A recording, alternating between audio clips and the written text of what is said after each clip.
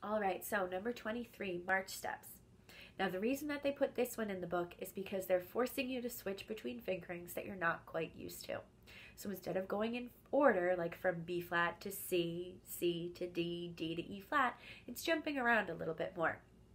So for flutes, it starts on B flat and then you jump right to D. So you might want to practice that a few times, switching between those two notes before you worry about really playing this song. This it's also helpful when you're practicing this one to break it down into two measure chunks because of how it's written. So instead of trying to play the whole thing, you're just going to play two measures at a time. So if we just worry about playing the first two measures, here we go and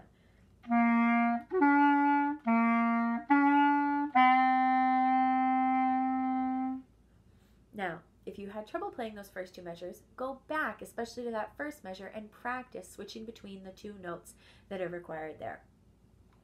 If you had an easy time doing it, let's play the next two.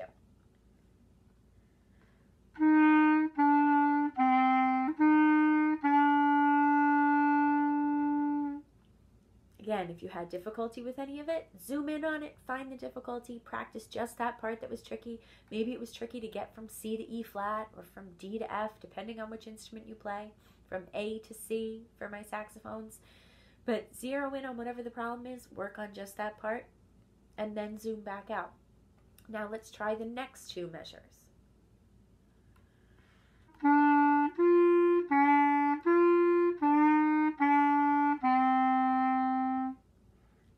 Again, zoom in if you have to, practice it if it's not good. And the last two measures.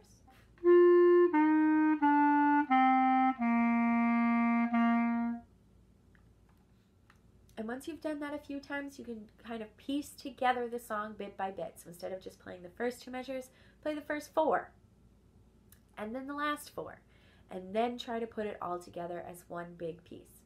The whole song together will sound like this.